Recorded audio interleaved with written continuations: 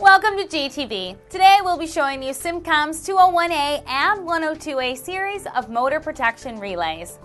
The 102A and 201A are three-phase, auto-ranging dual-range voltage monitors that protect 190 to 480 volts AC, 50 or 60 hertz motors regardless of size.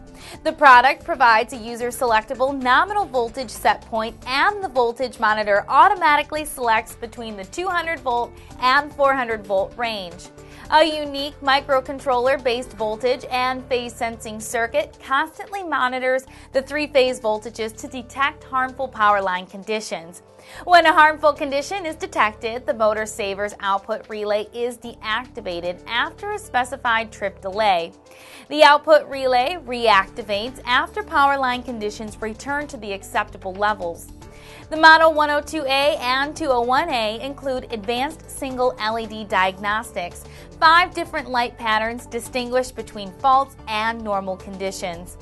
The 102A is panel mounted with models available that give the user additional options.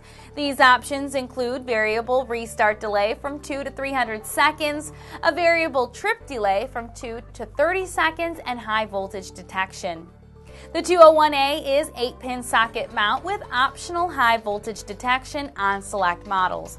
The 201A does not come with the same options as the 102A, but the 201A AU comes with an adjustable knob to set a 1 to 30 second trip delay, a manual restart or 1 to 500 second restart delay, and a 2 to 8% voltage unbalanced trip point.